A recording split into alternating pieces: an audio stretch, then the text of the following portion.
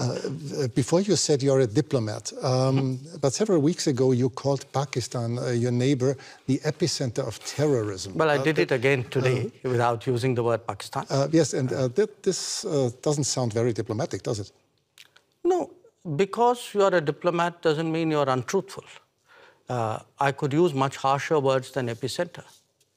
So believe me, considering what has been happening to us, I think epicenter is a very diplomatic word because this is a country which has attacked uh, the Parliament of India some years ago, which attacked the city of Mumbai, which went after hotels and foreign tourists, which every day sends uh, terrorists across the uh, border. But of, so course, sometimes not, when we of talk, course not as a country.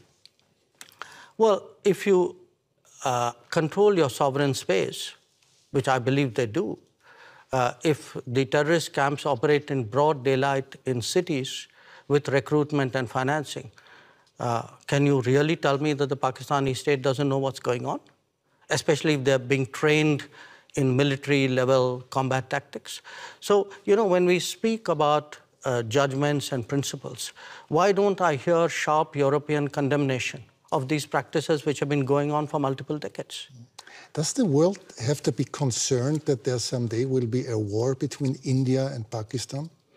I think the world has to be concerned that there is terrorism going on and the world often looks away. Uh, the world often feels it's not my problem because it's happening to some other country.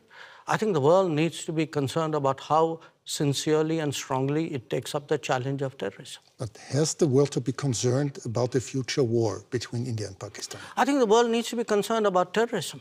That's because, what you, you know, yeah, sure. Because look, if you pose it the way you do, if you pose it the way you do, that's like giving a free pass to terrorism, saying, you know, let's worry about the next consequence of it.